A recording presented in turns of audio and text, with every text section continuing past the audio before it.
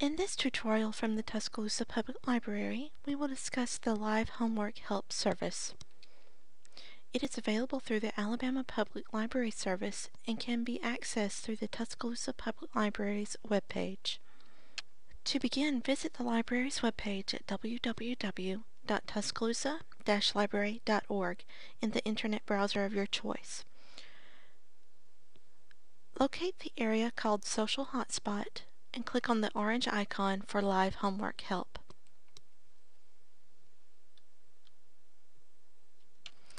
This will open tutor.com. The Student Center, College Center, Adult Education Center, Career Center, and Proofpoint Writing Center are available 3 p.m. through 10 p.m. Central Standard Time, Sunday through Thursday.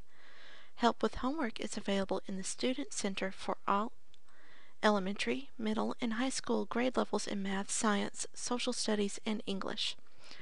The College Center has tutors available in a variety of college subjects. The Adult Education Center can assist with studying for the GED or the citizenship test. The Career Center has resources that can aid in job searching, resume writing, or preparing for an interview.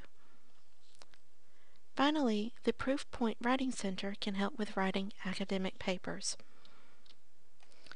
The Skills Center Resource Library is available at any time.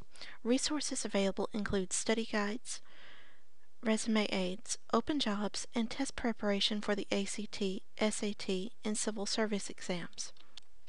Tutor.com also has a free app available for Apple products which can be downloaded through the iTunes App Store.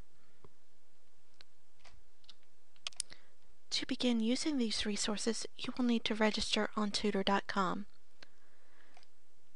Click on Create an Account at the top of the screen. On the registration page, enter your first name, email address, and a selected password. You will need to be age 13 or over to register yourself for this service or have permission from a parent or a guardian. Click Create Account after doing this. To begin using the Homework Help service, Choose the center or resource library you would like to access. Then choose the first subject you would like help with.